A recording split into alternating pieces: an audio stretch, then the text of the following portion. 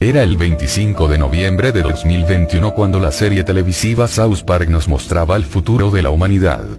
En aquel futuro la humanidad creía haber superado la pandemia global. Las personas regresaban a sus trabajos, los niños felices con caras sonrientes se dirigían a clases escolares. Pero, algo muy aterrador estaba por pasar.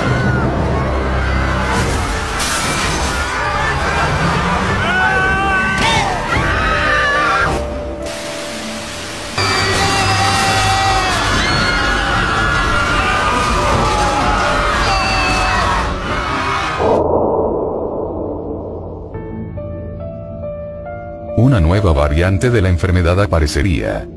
Toda la población sería sumergida en el pánico total. Ciudades totalmente destruidas. Gente sin alimentar. Adolescentes, niños y adultos esclavizados por el mundo virtual. La gente desesperada por salvar sus vidas buscaba nuevamente mascarillas. Los ciudadanos del mundo buscaban una salida, un milagro que los hiciera salir de la ciudad.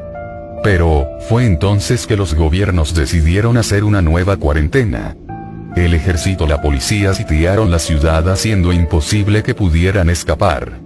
Las personas que lo intentaban muy probablemente sacrificarían su vida. La mayoría de la población perdería en sus casas su dinero, su trabajo y serían puestos en albergues controlados. En aquellos albergues se buscaba algo.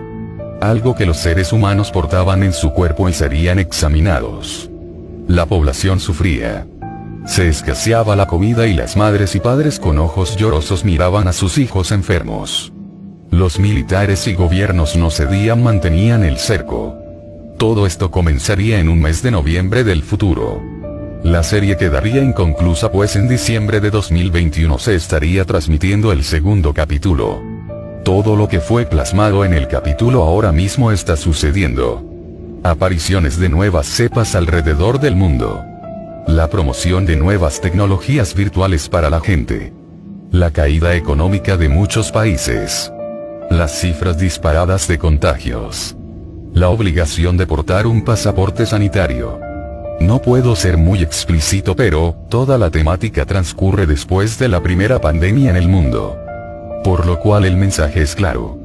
Una segunda pandemia aún más aterradora podría llegar a la población según el mensaje de South Park en su película que transmitió.